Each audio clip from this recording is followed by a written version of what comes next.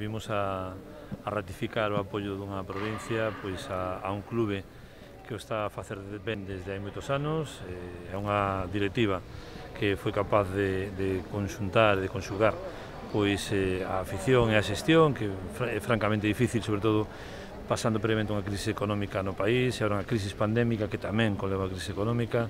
Nese escenario, na persoa do seu presidente, queremos agradecer pois a, ao enorme esforzo e o magnífico resultado de, desa xestión. No? Nos queríamos estar humildemente ao lado de, deste proxecto, que é un proxecto de toda a provincia, que é o Obradoiro, e a verdade é que, pois, que nos facía moita ilusión poder vir a compartilo cos xogadores e con parte do equipo directivo.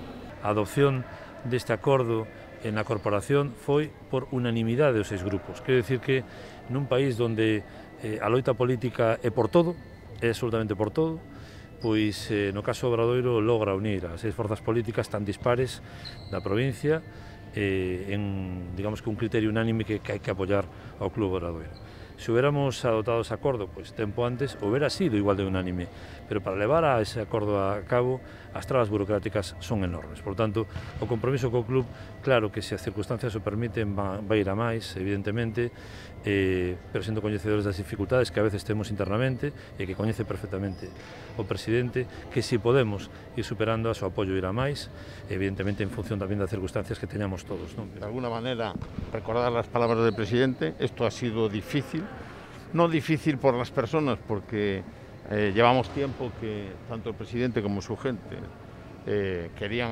apoyarnos económicamente porque se dieron cuenta que era necesario, que es necesario, tienen que seguir, cuando dice el presidente, bueno, tenemos, presidente, más. Además, yo le decía, ¿cómo se ve, a ver, se lo decís vosotros los periodistas, cómo se ve en las, en las camisetas el, la Diputación de La Coruña, cuando están los tiempos muertos, parece que está el presidente dando las instrucciones a los jugadores. ¿no? Primero, agradecerle a él, a la, también estaba la diputada, toda la Diputación, que no ha sido fácil, como dice el presidente, a veces con complicaciones, mirándonos co complicadamente, pero yo sabía que en su intención estaba esto sacarlo adelante.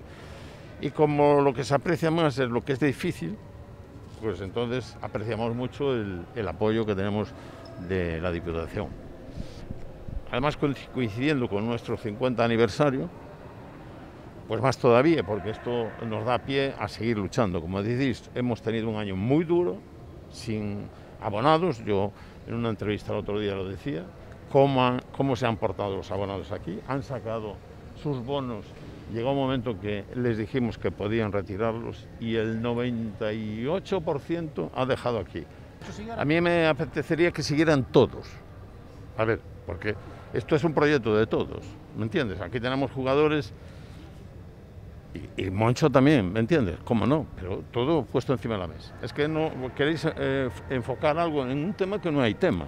Es que no hay tema. No sé si entendéis, es que no lo hay. No, no sé por qué lo queréis focalizar. Pero no queremos solamente eso, sino que sigan todos. También tenemos claro que, por desgracia, algunos se nos van a marchar. Como todos los años. Exactamente. ¿Vale?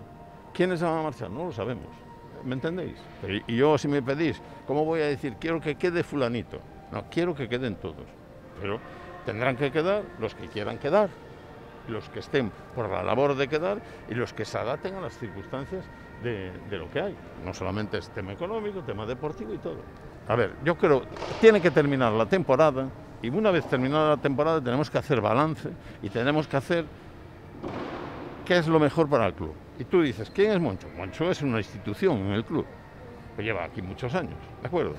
Eh, ¿Qué va a pasar? Pues una vez que nos sentemos hablaremos del tema, pero hoy no me, a ver, eh, no es que no quiera contestar, es que hoy contestar a una pregunta puede ser que una pregunta y otra pregunta. ¿Lo entendéis bien? Os, os, pedimos que nos lo dejéis trabajar, nos tenemos que sentar al Consejo de Administración con nuestro director general que tiene ya, está planificando y tendrá que poner encima de la mesa las diferentes opciones que hay, de todo, no de un entrenador, sino de todos.